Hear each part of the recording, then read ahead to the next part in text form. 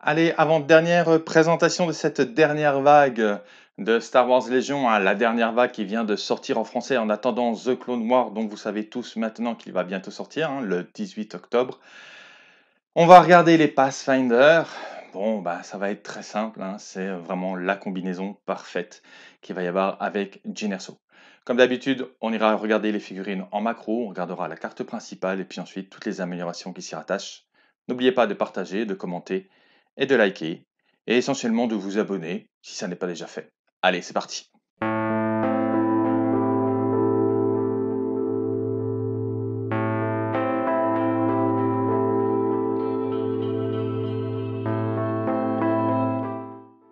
Alors, qu'est-ce qu'on en dit de ces Pathfinder? Allez, soyons honnêtes, c'est pas les plus réussis. Alors il y a Po, enfin Pao et Bistan, qui sont les deux personnages, hein, qui sont euh, les deux extraterrestres, les deux exos, qui eux sont vraiment, vraiment, vraiment super bien réussis et j'ai hâte de les peindre. Mais alors pour les humains, on est sur un grand classique, et là je sais pas pourquoi, j'ai du mal, trouve que les têtes sont trop grosses, et puis que les peaux sont un petit peu ramassées. Enfin voilà, c'est sûr que là on a vu des choses qui étaient tellement belles, tellement exceptionnel dans cette série que bah, je suis quand même obligé de reconnaître que là, on est un petit peu en dessous. Mais je le redis, les deux exos sont vraiment excellents. Et puis bah, on verra euh, ce qui se révélera avec la peinture. Ça reste des figurines de très bonne qualité, mais je trouve qu'elles sont un petit peu moins inspirées. Avec les arpenteurs, on paiera 68 points pour 4 unités, 1 en vie et de encourage. C'est un classique des forces spéciales. On va défendre en dés blancs, euh, spécial dédicace aux rebelles. On transformera malgré tout les adrénalines en attaque et en défense, ce qui remonte un peu le moral. On se déplace à deux, c'est classique, je vais pas m'étendre. Un dé noir au corps à corps, c'est prévu.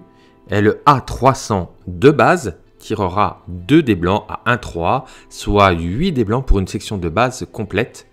Pensez au dé de visée. Comme Jean, mais avec un dé de moins, on retrouve Intuition du danger 3 donc. Vous pouvez choisir de ne pas retirer vos pions de suppression. Tant que vous défendez contre une attaque à distance, lancez un dé de défense supplémentaire pour chaque pion de suppression que vous possédez pour un maximum de 3 dés supplémentaires. Intrépide est une version d'ordre strict. Après votre étape se rallier, si vous êtes démoralisé, mais pas paniqué, vous pouvez gagner un pion de suppression pour effectuer une action se déplacer gratuite. Avec infiltration, enfin, ben, vous pouvez vous déployer n'importe où au-delà de la portée de 3 d'une unité ennemie. Bon, c'est plutôt attendu pour des troupes d'élite. Je reviens sur le A300 qui a été revu en points car il ne voudra plus que 0 en compétition. Une configuration tir 1 des rouges à 1-2 et l'autre un des blancs à distance 1-4. Cela vous donne donc le choix entre trois configurations notables. Vous tirez à 2 très fort, à 3 avec deux dés blancs et à 4 avec un seul dé blanc. Pao vous coûtera 22 points.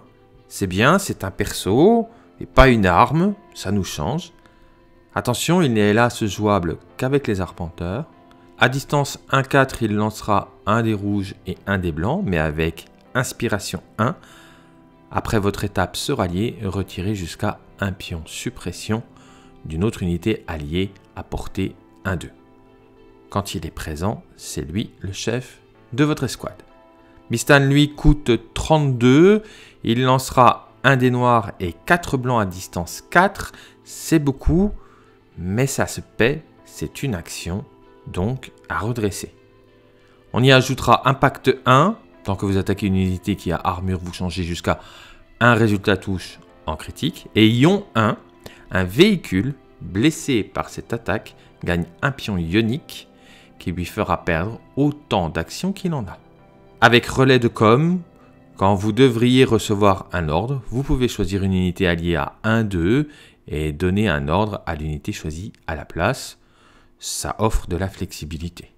On notera la superbe grenade à fragmentation qui lance un dé rouge avec adrénaline et critique. Le reste des cartes est connu.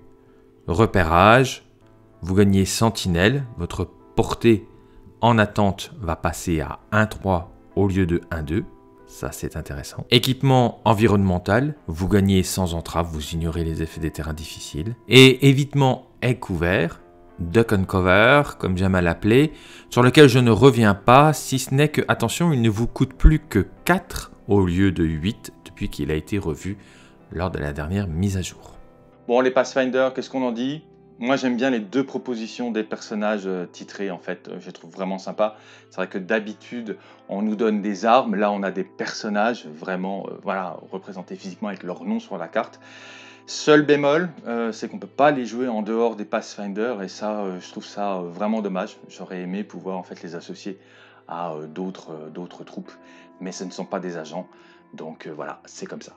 Quoi qu'il en soit, les figurines sont exceptionnelles, elles sont de très bonne qualité, elles feront sans aucun doute l'objet d'un scroll painting dans les semaines à venir. J'espère que cette vidéo vous aura permis d'y voir un petit peu plus clair. On va bientôt se retrouver, sans aucun doute dès demain, pour les Death Troopers.